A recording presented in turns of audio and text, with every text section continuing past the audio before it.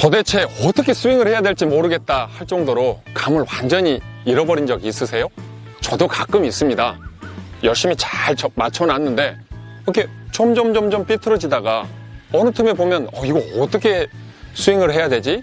하고 이제 난감할 때가 있습니다. 이럴 때 저는 3쿼터 스윙을 해서 감을 다시 찾습니다. 흔히 하프 스윙이라고도 하지요. 3쿼터 스윙은 이런 겁니다. 백스윙을 해서 왼팔이 수직이 되고 이때 체중은 오른발로 옮겨오겠죠. 클럽은 지면에 팔과 이제 수직을 이루는 이 상태. 이 상태까지 백스윙을 했다가 툭 떨어뜨려서 반대쪽에서는 대칭을 이루는 겁니다. 아까 제가 발이 너무 떨어졌는데 발은 지면에서 5cm 이내 정도 떨어지고 머리는 돌지 않으면서 눈은 볼이 있던 자리를 보는 이 스윙입니다. 이 3쿼터 스윙으로 이제 driving range에서 꼭 참고 수십 개 또는 수백 개를 때려보면 어느 틈에 감을 다시 찾을 수가 있더라고요. 이 3쿼터 스윙을 할 때 주의해야 될 것은 이렇습니다. 백스윙을 했을 때 왼팔이 펴지는 것은 물론이고 그립 끝이 볼과 목표를 잃는 있는 그 라인을 가리켜야 됩니다.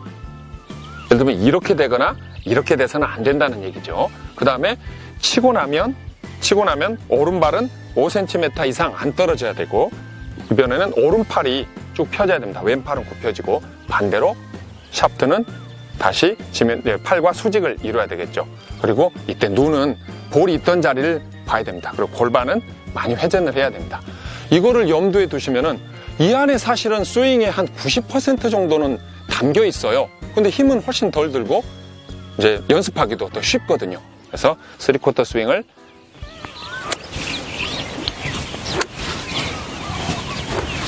이렇게 3쿼터 스윙으로 볼을 치시면서 감을 찾아보시면 좋겠습니다. 제가 3쿼터 스윙으로 연습샷을 한번 해보겠습니다.